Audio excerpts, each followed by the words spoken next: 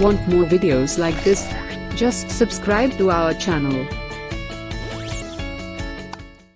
Our feet get tired and pained after spending all the day in walking or standing. A feet spa can be very much soothing treatment to get rid of tiresome of feet and having beautiful and softer skin of feet. Following are few home remedies for feet spa. Feet spa remedies warm water and Epsom salt can be combined to make a very good foot soaking solutions. Add warm water to a large bowl or foot basin and mix 1 cup of Epsom salt in this water.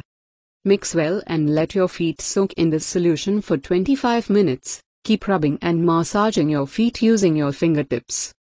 This will be very soothing for your feet. Warm water will remove all the dirt and dust from feet and Epsom salt will provide soothe to the tiresome of feet. Doing this remedy on a daily basis can let you have beautiful and relaxed feet. Water and apple cider foot soak is another good treatment as foot spa. Just add ample amount of apple cider vinegar to warm water and mix well. Soak your feet in this water solution for 25 minutes. Use pumice stone to remove dead skin of feet. Rinse well as with fresh water and apply good hand and body lotion for moist feet.